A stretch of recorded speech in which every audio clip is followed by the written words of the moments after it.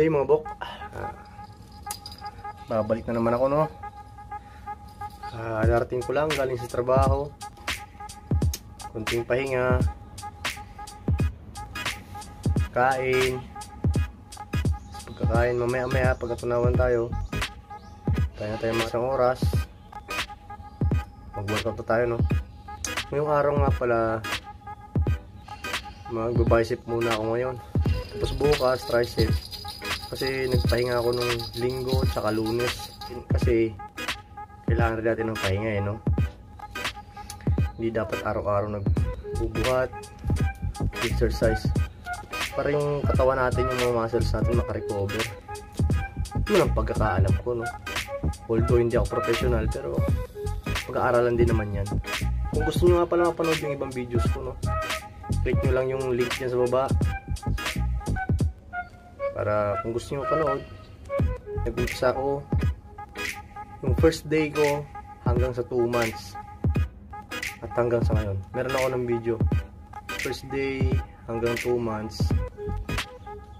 Pagbawas ng timbang ko saka yung timbang ko nung nagsimula ako.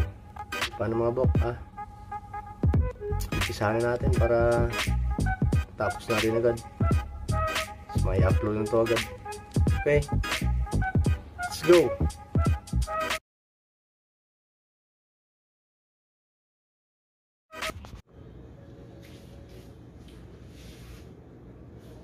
Game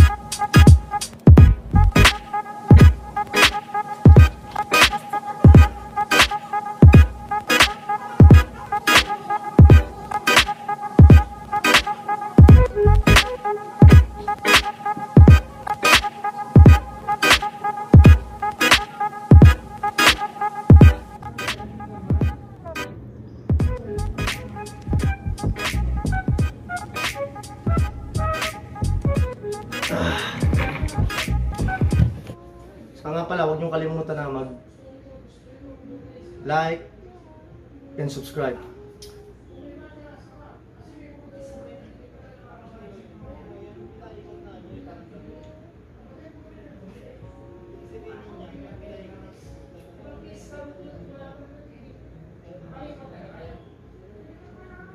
Okay. Peace out.